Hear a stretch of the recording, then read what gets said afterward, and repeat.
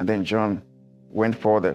And the things we can learn from John is that circumstances cannot inhibit the kingdom of God. Circumstances cannot stop the kingdom of God. God, Christ will build his church. Nothing can stop it. While John was on that island, he's still writing to brothers and sisters in church and saying that you should persevere. I am still your brother. Even though I'm in this place, I am still your brother. We are still partnering in the gospel. And also, you see that John mentions, he said, he said, John mentions suffering of believers first.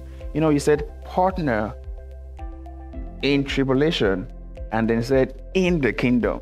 He didn't say partner in kingdom first and then later tribulation. You know, we love kingdom. We love the kingdom mindset. We, we sometimes tell ourselves, Jesus, let your kingdom come. We love that we don't love the tribulation part of it. But John is saying, a partner in tribulation and then the kingdom. So he says, what John is saying in essence is that the way to the kingdom is the way through tribulation.